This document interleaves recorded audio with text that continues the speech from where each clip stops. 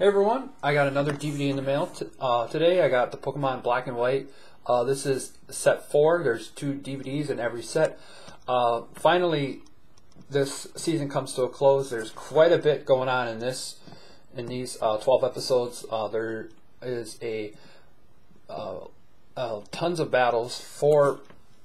It takes up four episodes, and then there's Meowth joining Ash, and then we obviously he's covering up for Team Rocket, and they have a plot to steal all the Pokemon in Nimbasa City.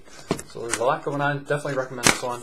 Uh, first time I've seen them actually advertised in a black and white DVD. They're advertising the Magna, ma- manga, I can't even say it, uh, uh, Ruby and Sapphire, and then um, the Kyurem, of Justice. And then, of course, they come with two DVDs. One's in white and one's in black. We got Zorua on one and Purrloin on the other.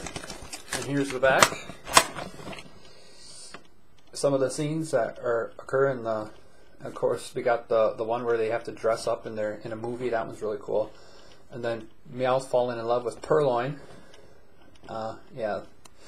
Uh, yeah, and then yeah, there's a lot of stuff going on. So I definitely recommend taking getting this DVD.